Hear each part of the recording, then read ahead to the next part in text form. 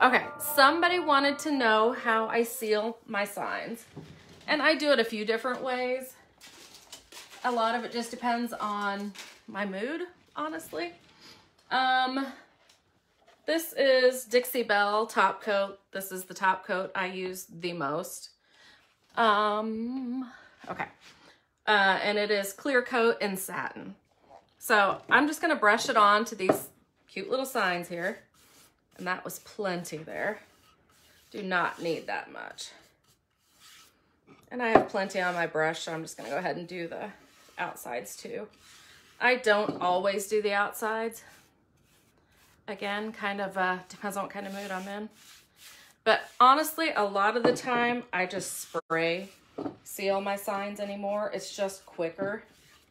And, you know, most of these signs are gonna be in the house or at least that's what I'm thinking. They're going to be in the house. So anyway, there's that one is sealed. Plop that up there. And then, um, well, hello, Lisa Kennedy. Same here. Rainy, blustery, nasty. Okay, and then we have this one. I'm just going to spray this one. This is pretty much how I normally do it anymore. I wouldn't normally do it in here but for the sake of uh, showing you guys, I'm gonna. It is just um, fast drying polyurethane. So just make sure your stream's coming out good and that's it. So you can see that's a lot faster, does not involve a brush, does not involve having to, hi Colleen, does not involve having to uh, wash a brush or any of that stuff that I don't like to do. Okay, so that's that's typically how I seal anymore. Hey, Sandy. Oh, it's sunny in Florida. we could use a little sunshine. It's been nasty this week. Just downright nasty. Okay, so I can't remember who, I want to say it was Rebecca, somebody wanted me to show how I seal. So anyway, that's that. Hey, Susan. Oh, you're getting snow too? We're, we, we're not having any snow that I'm aware of. I just see a lot of rain. Actually, I'm to set this back down for a minute. Um, polyurethane or polyacrylic? Um, that was polyacrylic. That was just a top coat by Dixie Belle was the one I brushed on. And then it's fast drying polyurethane is what I use in the can. But then for this metal can, I'm going to use fast drying polyurethane in here. And I could spray it also. Thank you for the stars, you guys. Um, I just feel like this is more durable. I'm not a scientist. I don't know. But I feel like this would have to be more durable than the spray. Just my thoughts. Making your own sunshine in Ohio. Appreciate my videos. Well, thank you. Thank you, thank you. That makes it worthwhile for me to know that someone enjoys it, even if I come on looking a mess. Do you ever have trouble with polyurethane yellowing? Um, polyurethane will yellow, yes, which for what I'm using today, um, actually, I have not. I don't know if I've had any trouble with this on a sign, but I don't know if I've used it on white. I don't know. I don't do a lot of white signs, I guess, honestly. Have you ever used the wipe on poly? Nope, I haven't. That's, that's just it. There's so many things out there that you can use. I just, you know, I get in a habit. I like what I use, so I stick with it if I like it. Thank you, Veronica. I'm going to pour some of this in a, in a little bowl here. Okay, so that way I will get my lid put back on later. You don't like polyurethane special? Yes, you can't use polyurethane on a light covered surface or light painted surface because it will yellow. It, that's just it, it's fact. Um, that's when you want to use a polyacrylic, a water-based product, not oil-based. Faux show. Yeah, I, like I said, I don't do many white signs. You know me, if I do a sign with white, it's got a lot of antiquing on it and a lot of brown in it. So, um, but they do have, um, they do have polyacrylic in a spray can by Minwax also. That's in the bluish can like the polyacrylic comes in. you know, they both come in a can. One's a spray, one's the quart or gallon or whatever you get. But, um, and that one would be water-based and that one should be a sure thing. Okay, now we're getting back to this. Okay, I've told you what I'm using. Oh, oh shoot, I used a new paintbrush. Doggone it. I have brought one in. Well, let's just check on it. This is one I've had in the freezer and I've used it several times because you know me, I don't like to wash a paintbrush. And plus, oh yeah, it still works. Well, I could have used this one, gloppy as it is, but stupid me, did not see it sitting there. So here we are. I'm getting, I'm using, well, it's not a new paintbrush, but once you use an oil-based product, for me, there's no coming back. It's either getting pitched or it's kept for this forever now. I'm not gonna put that kind of effort into trying to clean it out. Just not enough hours in the day for me. So anyway, just sealing that. Can you, let me turn you around a little bit. There we go. Okay, so there we go. Just putting this on. If you saw me, oh, this isn't even the can that I was meaning to do. Good grief. This one, actually, I have already sprayed with um, the other, with that spray polyurethane. But I didn't love it. It did darken it enough, but so all is not lost. This one needed to be done too, in my opinion. So you can see how much more of a shine, gloss, coverage this is, because this is going right over the spray polyurethane, if that makes sense. Round brush versus standard is the preference over one over another. Why? Um, I have used like a two inch, pretty much, I think this is two and a half inch. This is bigger than I need. Um, I bought these off Amazon on accident, so I'm determined to use them up. But a two, two inch angled brush has always been my personal fave. Um, of course, there's wax brushes. And if you're doing wax, I would probably use the wax brush. Um, but I am kind of falling in love with the Staalmeesters. They're kind of around. They hold a lot. I like the Cling On too, but I've been going back and forth between the two, and I think I think the Staalmeesters are winning out with me. And I would love to be able to sell those to you guys, but I've not found an easy way to do that. I think you have to be a paint retailer and I really don't want to go back down that road too bad. I don't want to have to stock all that inventory. I don't have room for that, nor the time, nor the desire to ship all that. So, but yeah, I think a lot of it is personal preference. Like I said, I've gotten by with a two inch angled brush for 10 years. I shouldn't say gotten by, that's what I liked. But lately I've been experimenting a little and I am liking some of the other fancier brushes too.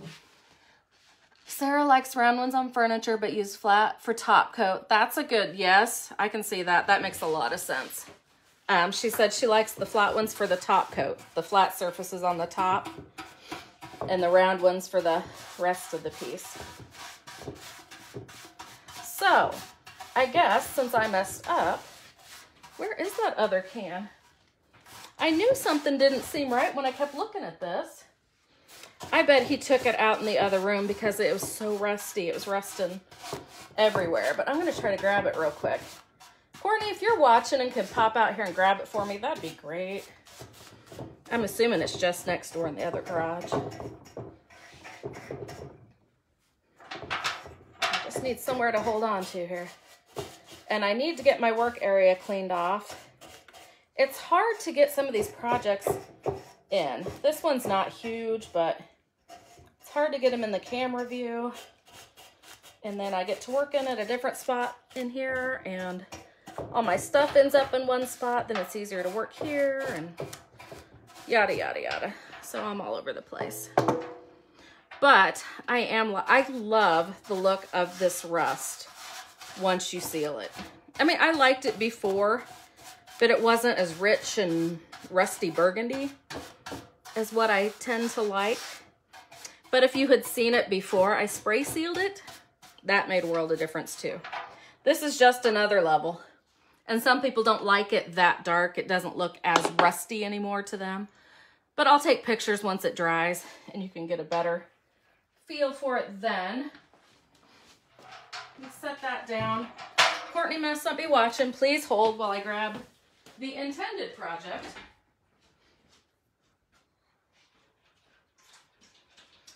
Okay, it was right around the corner.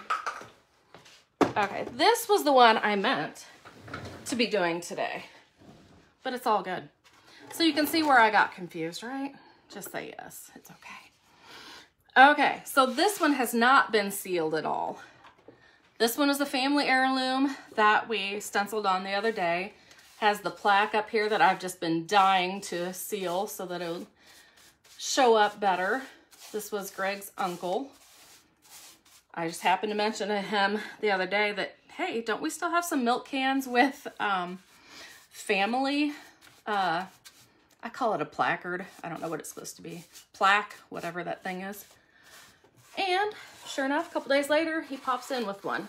Now this one is rusty as all get out. Thanks, Jerry. Um, it's got holes. It's dropping rust out from underneath. It's rusted through. But, you know, it's still cool to me. You know, pop a little potted plant on top there or take the lid off and put some uh, stemmed flowers in it even. Long stemmed from like Hobby Lobby or something. Or fill it with rock or sand or something in the bottom. Or tissue paper or old newspaper or whatever if you didn't want to fill it all the way to the bottom, you know. Put a false bottom in there if you will. Okay, this is going a little slow here around the handle. Obviously, this tedious work, but I think it's going to be worth it. Can you see how that's coming out? I hope. And it may not be your style. I think it is mine. Just what I needed. One more piece in my house. But, and I might put it on the porch too. I don't know yet. No real plan yet. Okay, let's get to, um, oops, I was wanting to get that just out of here. Okay.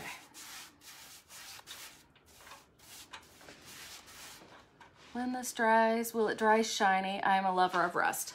Um, this is satin, so it might have a little, to me, satin, it's definitely not glossy. I don't know that I would call it shiny either to me, it gives it enough of a protection that you can run your hand over it like a dust rag or something and it's not going to drag on it and catch. Which is kind of like, I know some people don't spray their signs. And that's fine to each their own. But I like to just because to me it feels dry and like your dust rag is going to catch on it when you dust it. And um, so yeah, that's kind of the same thing with this. And I really think this dry, rusty goodness is going to um, win out over the clear coat or over the polyurethane. I think, I mean, I could put several coats on and make it shiny, which I don't want that either. Or I could have just went straight to gloss. But as dry as this thing is, I think it's gonna be perfect. Perfect in my eyes anyway. So we'll see. I will take pictures after they dry and that may be tomorrow because, like I said, rainy, nasty, blustery here. I don't have the heat on in the garage here or it would dry faster. I could take them in the house actually and put them by um, heat register. You love this piece? I'm coming in on the back end of this. Did you do a live? I did. Um, it was probably day before yesterday. I did a live on this. Um, ugh, see all that rusty I'm not calling that rusty goodness, but that's rust. you can see, like I said, this is not in pristine shape by far. And it is, I'm gonna have to take it outside and shake it out some more. And really, yeah, this just may stay on the porch because I have a feeling it will always want to drop some out. Or I could put a kind of, I see those, um, maybe you guys have tried it um, sealer that you're supposed to be able to put on a boat and it's supposed to seal up the hole. I can't really imagine that works, but you could do something like that if you want to go to that extreme. But For me, it'll probably, it'll probably go out on the front porch.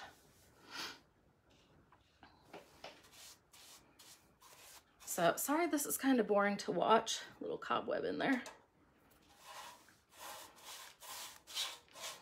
I always say that I feel like watching me paint has to be as boring as watching paint dry. Which this isn't painting, I realize, but you know, same idea. But I do love me a transformation, so once you can, I mean, me get this turned again a little bit. You can definitely see what we're doing, right? There, I can get the other side of that handle now. Get around the lid a little bit. Like I said, I will take pictures when it's all dry. It will stay fairly dark like this, but I don't think it'll look shiny. I don't think, but we'll find out. I am using, see, aim your hair dryer in that hole. Oh, that's a good idea, Sandy. Yeah, I, well, I can't do it outside today, but yes, I will maybe try that. Actually, I might even have Greg take it outside with the uh, air compressor and really do a number on it. Of course, that might just blow a hole right through it or make the hole bigger. So maybe I just better stick with the blow dryer. And my hand is wearing out.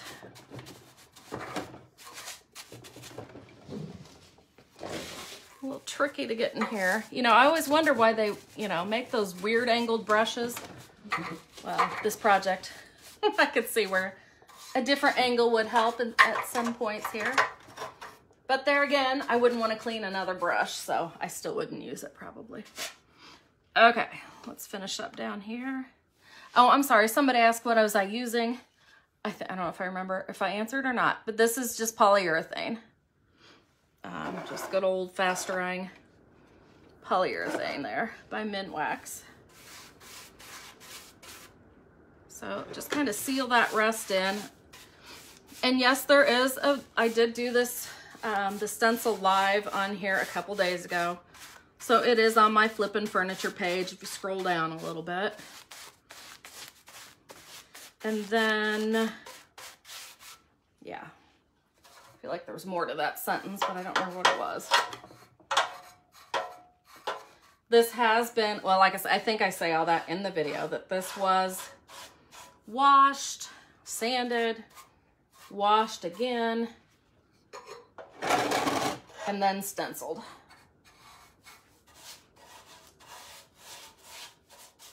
And then it's been a couple days ago. We had to go out of town yesterday, so I'm just getting back to it today.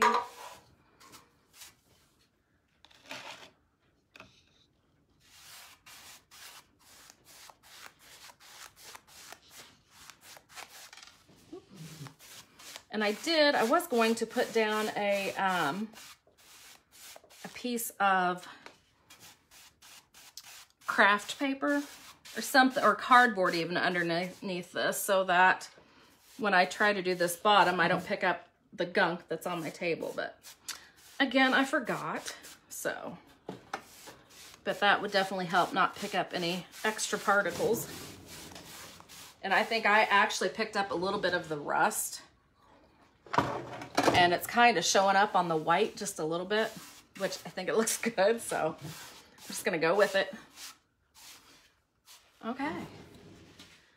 And I'm finding these handles are much like spindles.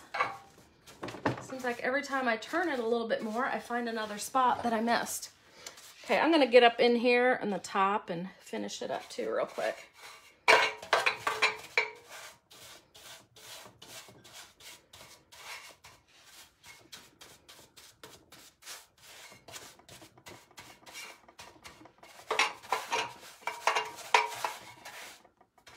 Okay, like I said, totally not in good shape, but I, I think it's worth keeping.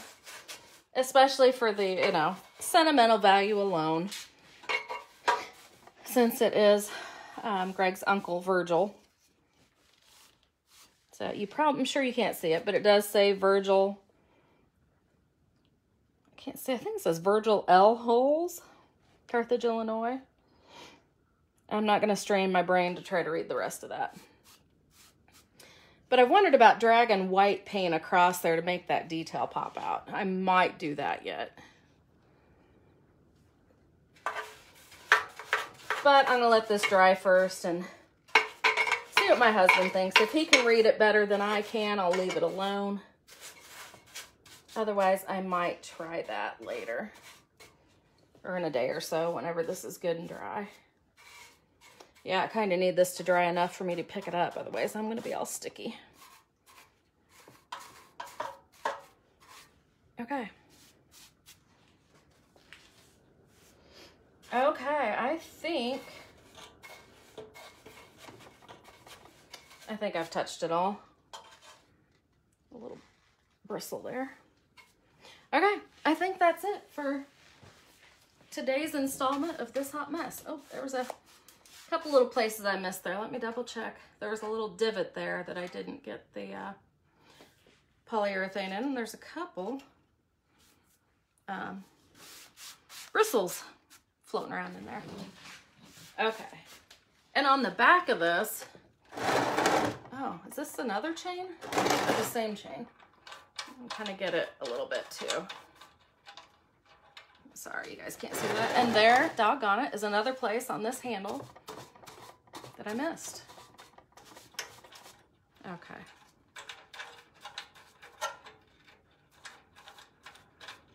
Okay, I think I'm gonna quit there. For real.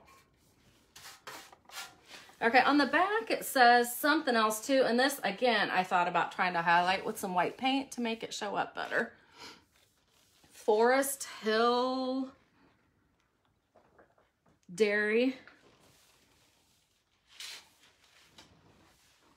I don't know what the rest of that says. And something is kind of etched into it, but I can't tell what that says either. So anyway, that's it for today.